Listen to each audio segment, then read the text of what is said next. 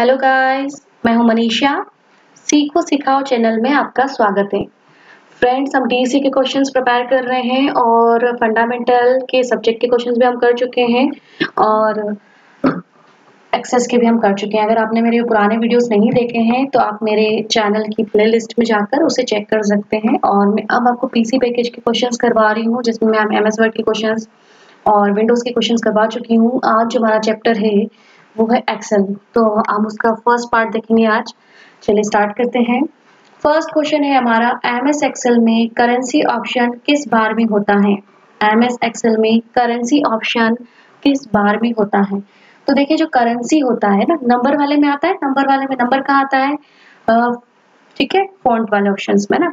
तो formatting tool बार में कहा दिखता है आपको? Formatting tool bar next question है हमारा एम एस एक्सेल में मैक्रो ऑप्शन किस मेन्यू में होता है? एम एस एक्सेल में मैक्रो ऑप्शन किस मेन्यू में होता है? तो कहा होता है? टूल्स मेन्यू में। नेक्स्ट क्वेश्चन है एम एस एक्सेल में सिर्फ़ डेट डालने के लिए किस फ़ंक्शन का यूज़ किया जाता है? देखिए डेट और टाइम की नहीं बोल रहा है वो, सिर्फ़ किसकी बोल रहा है? डेट की। तो हम अगर किसी भी सेल में जाके बराबर टुडे लिखेंगे तो हमारे सामने क्या आ जाएगी? आज की डेट आ जाएगी। ठीक है? तो हमारा आंसर क्या हो जाएगा? टुडे नेक्स्ट क्वेश्चन है एम एस एक्सेल में रिमाइंडर को कैलकुलेट करने के लिए किस फ़ंक्शन का उपयोग किया जाता है? तो देखिए मोड एमओडी मोड फ़ंक्शन का यूज़ किया जाता है। नेक्स्ट क्वेश्चन है एम एस एक्सएल में फील ऑप्शन किस मेन्यू में होता है? फील देखिए, अगर आप चाहते हैं कि सभी में एक जैसा डाटा फील हो जाए तो ये वाला जो ऑप्शन है, कौन से मेन्यू में होता है? एडिट में, ठीक है? नेक्स्ट क्वेश्चन देखिए, एक एक्सेल वर्क बुक का संग्रह है, एक एक्सेल वर्क बुक का संग्रह है। तो वर्क बुक पे क्या होती है? वर्कशीट्स बाय डिफ़ॉल्ट कितनी होती है तीन। पता है ना आपको? ठीक है। चलिए नेक्स्ट क्वेश्चन देखते हैं। एम एस एक्सेल में इनमें से कौन सा डाटा टाइप नहीं होता है? देखिए नंबर तो होता है करेंसी भी होता है डेट एंड टाइम भी होता है लेबल नहीं होता है। तो हमारा आंसर क्या हो जाएगा? लेबल नेक्स्ट क्वेश्चन देखिए एक्सेल में सॉर्ट ऑप्शन किस मेन्यू में होता है? एक्सेल में सॉर्ट ऑप्शन किस मेन्यू में होता है? तो देखिए सॉर्ट है ना? आपको पता ही होगा असेंडिंग और डीअसेंडिंग एस एस जेड के फॉर्मेट में और जेड से ए के फॉर्मेट में। तो ये सॉर्ट जो ऑप्शन होता है, ये होता है डाटा मेन्यू के अंदर। किसके मेन्यू के अंदर होता है? डाटा नेक्स्ट क्वेश्चन देखिए, इनमें से कौन सा चार्ट एम एस एक्सेल में नहीं होता है? इनमें से कौन सा चार्ट एम एस एक्सेल में नहीं होता है? तो देखिए, जो ग्राफ है है ना? ग्राफ है ना? ये नहीं होता है। क्योंकि स्कैटर होता है डॉट डेट भी होता है और लाइन भी होता है तो ग्राफ नाम का कोई चार्ट नहीं होता है तो हमारा आंसर क्या हो जाएगा? ग्राफ नेक्स्ट क्वेश्चन देखिए M S Excel chart wizard में चार्ट ऑप्शन में, इनमें से कौन सा ऑप्शन नहीं होता है? एक्सिस तो होता है डाटा लेवल भी होता है डाटा सीरीज़ डाटा टेबल देखिए डाटा सीरीज़ नहीं होता है. नेक्स्ट क्वेश्चन देखिए एम एस एक्सेल पर बेस्ट सॉफ्टवेयर है एम एस एक्सेल पर बेस्ट सॉफ्टवेयर है. देखिए विंडोज़ देखो विंडोज़ है ना? विंडोज़ एम एस एक्सेल पर बेस्ट सॉफ्टवेयर कौन सा है? विंडोज़ नेक्स्ट क्वेश्चन है, एक स्प्रेडशीट पृष्ठों पर संग्रह है। एक स्प्रेडशीट पृष्ठों का संग्रह है, जिसे कहते हैं वर्क बुक क्या कहते हैं? वर्क बुक नेक्स्ट क्वेश्चन है एम एस एक्सएल 2007 में एक्सेल वर्कबुक का एक्सटेंशन क्या है? तो देखिए, इसका जो एक्सटेंशन है, वो dot X L S X क्या है? Dot X L S S. और 2003 जो चलता था, उसके अंदर जो एक्सटेंशन लगता था, वो था डॉट एक्स एल एस, है ना?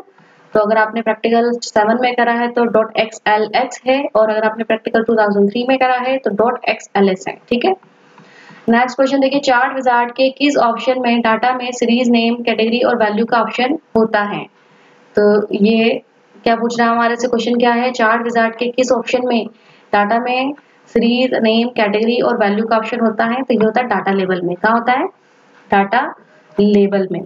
नेक्स्ट क्वेश्चन है एम एस एक्सएल में फॉर्मूला एरर होने पर कौन सा साइन दिखाई देता है? अगर आपने देखा होगा कि आप कोई फॉर्मूला लगाते हैं और आपने गलती से कोई भी चूक कर दी उसके अंदर, आपने एक ब्रैकेट नहीं लगाया, बराबर का साइन नहीं लगाया तो उसकी जगह क्या आ जाता है? हैश बना हुआ आ जाता है। तो आंसर क्या आ जाएगा? हैश नेक्स्ट क्वेश्चन है एमएस एक्सेल में कौन सा ऑप्शन डाटा मेन्यू में नहीं होता है। एमएस एक्सेल में कौन सा ऑप्शन डाटा मेन्यू में नहीं होता है?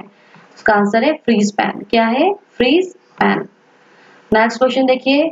फ़ंक्शन लगाते समय रेंज देने के लिए किस रेफरेंस ऑपरेटर का यूज़ किया जाता है? तो देखिए, कॉलन का डबल कॉलन होता है ना, उसका उपयोग किया जाता है। हमारा आंसर क्या हो जाएगा? कॉलन। नेक्स्ट क्वेश्चन देखिए। एमएस एक्सेल में नंबर को ड्रैग करके सेल्स में इंसर्ट करने के लिए किस फीचर मतलब देखिए एक बार रिपीट करिए मैं क्वेश्चन एक्सेल में नंबर को ड्रैग करके सेल्स में इंसर्ट करने के फीचर्स को क्या कहते हैं? इसको कहते हैं ऑटो फिल आप एक दो जगह नंबर लिखते हैं, फिर उसको पकड़ के ट्रैक कर देते हैं तो वो आइटम क्या हो जाता है? फिल हो जाता है तो आंसर क्या हो जाएगा? ऑटो फिल नेक्स्ट क्वेश्चन देखिए. एम एस एक्सएल में टूल मेन्यू में इनमें से कौन सा ऑप्शन होता है? एम एस एक्सएल में टूल मेन्यू में इनमें से कौन सा ऑप्शन होता है? फॉर्मूला ऑडिटिंग भी होता है गॉल्सिक भी होता है सिनारियो भी होता है तो उपरुक्त सभी आंसर क्या हो जाएगा? उपरुक्त सभी। चलिए नेक्स्ट क्वेश्चन देखते हैं। किस फ़ंक्शन का उपयोग rate of return loan amount और फ्यूचर वैल्यू को कैलकुलेट करने के लिए किया जाता है? आंसर क्या क्वेश्चन क्या हमारा? किस फ़ंक्शन को उपयोग किस फ़ंक्शन का उपयोग rate of return loan amount और फ्यूचर वैल्यू को कैलकुलेट करने के लिए किया जाता है। तो देखिए, ये जो फ़ंक्शंस हैं, ये आते हैं फाइनेंशियल फ़ंक्शन में। किसमें आते हैं? फाइनेंशियल फ़ंक्शन में, ठीक है? तो ये हमारा एक्सेल का फ़र्स्ट जो मॉक टेस्ट है, वो कंप्लीट हो गया है, ठीक है? फिर मैं इसका सेकंड पार्ट भी आपको कंप्लीट करवा दूँगी।